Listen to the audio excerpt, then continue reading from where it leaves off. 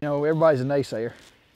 And uh, sure enough, I was like, I it. Biggin. Biggin.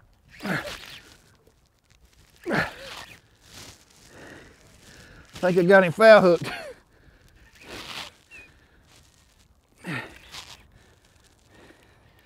He's still a good one.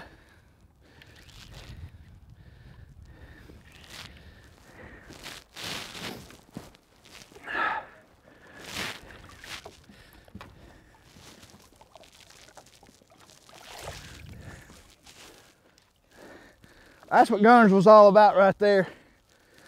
My name's Tim Chandler on Lake Guntersville. And when them classic boys come in February, that's what they're gonna be looking for. I know they can't throw an Alabama rig, but they can sure throw a single swim bait and a rattle bait. And they're gonna love to have about five of them a day right there. Probably gonna take about 70 pounds to win. Y'all stay tuned and you'll see. He rocked it. He's not bad. He crushed it. Now he don't want to fight. Got him lassoed.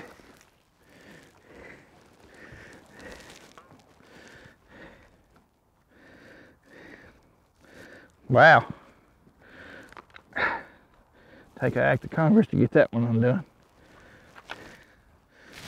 Not too bad. A little two and a half, three pound fish. I told him about my hickey, he got it, didn't he? Ugh. Hit it twice right at the boat. He's a little guy, but we like him. You know, there's no saying, if every fish was a big fish, then what's a big fish, right?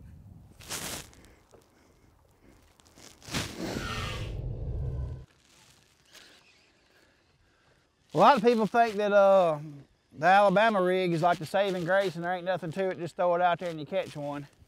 And sometimes that's true, but the majority of the time that's not true. It's just another tool to catch fish on. There's more to it than just throwing it out there and winding it in. I mean, we don't just take our spinner baits or our crankbaits and, and throw them out there and wind them in. There's little things you can do. You can you can pull on them, make them make them flare. You can also quit reeling them and make them drop there's a, it's really limited, unlimited to what you can do to it, just like any other bait. You know, it's all about how fast you reel it, how slow you reel it. Do you pop it? Do you not pop it? Um, a lot of fish will follow the bait. Whenever they fall on it, of course, you don't know that they're following it because you can't see them down there. At least I can't see them. And uh, doing something like that a little bit different will uh, trigger them into biting. And um, you know, the more seasoned guy is going to do that. And he does it on a regular basis. And if you've probably been watching me reel it in, you see some of the things that I'm doing. It just comes natural. I don't even think about it. You know, I'm, I'm popping it. I don't even think about it. Sometimes I stop it.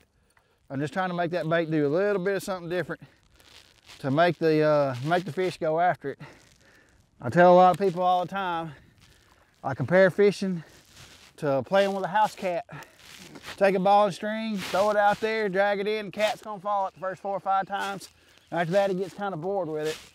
And then uh, you throw it out there and pull that string and also maybe you just jerk it really, really fast.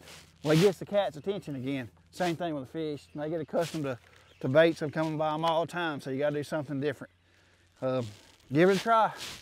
Works for me, maybe it'll work for you.